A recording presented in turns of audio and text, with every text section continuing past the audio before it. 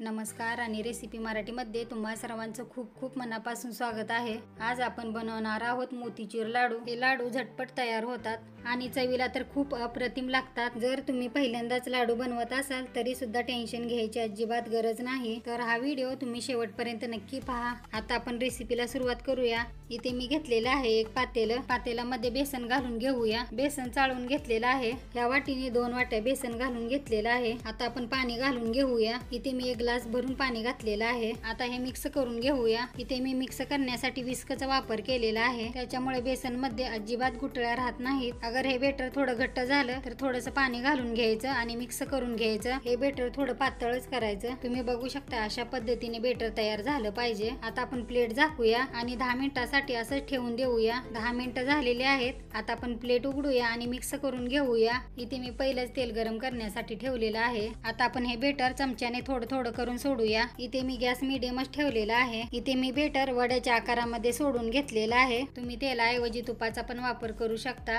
तुपामध्ये तळल्यामुळे खूप दिवस लाडू टिकतात. बेटर घालून झालं की एक मिनिटानंतर पलटून घेऊया. आणखीन एकच मिनिट तळून घ्यायचे. दोनच मिनिटापर्यंत तळून घेतलेले आहेत. तांबूस रंग येईपर्यंत तळून घ्यायचे नाहीत. वडे तळून झालेले आहेत.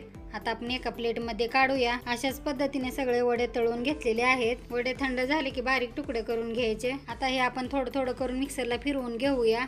जाडसरच मिक्सरला फिरवून घ्यायचं. आता हे सगळं मिश्रण मिक्सरला फिरवून घेतलेलं आहे. पाक करण्यासाठी इथे मी कढई घेतलेली आहे. इथे मी गॅस अजून चालू केलेला नाही. ज्या वाटीने बेसन घेतलं त्याच वाटीने एक वाटी साखर घालून घेतलेली आहे. आणि त्याच वाटीने एक वाटी पाणी घालून घेऊया. आता आपण गॅस चालू करूया. इथे मी गॅस मोठाच ठेवलेला आहे. आता आपण साखर चमच्याने मिक्स करून घेऊया. जोपर्यंत साखर विरघळत नाही तोपर्यंत चमच्याने मिक्स करत राहायचं. साखर विरघळलेली आहे.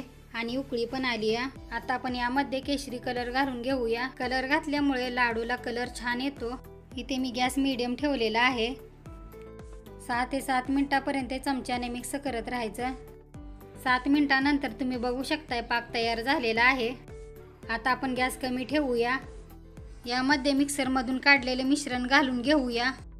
मिश्रण सगळं घालून झालेलं आहे. आता आपण मिक्स करून घेऊ. गॅस मिडियमच ठेवायचा आणि मिक्स करत राहायचं. आता आपण यामध्ये घालूया विलायची पावडर आणि थोडेसे मगजचे बीज. तुम्ही तुमच्या आवडीप्रमाणे ड्रायफ्रूट घालू शकता. आता हे सगळं व्यवस्थित मिक्स करून घेऊया. आता आपण ह्याच्यामध्ये एक चमच तूप घालून घेऊया. तूप घातल्यानंतर मिक्स करून घ्यायचं. अगदी हे लाडू कमी वेळामध्ये तयार होतात आणि खायलाही खूप टेस्टी लागतात. आता आपण गॅस बंद करूया.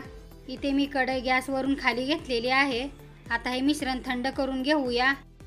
मिश्रण थंड झालेलं आहे.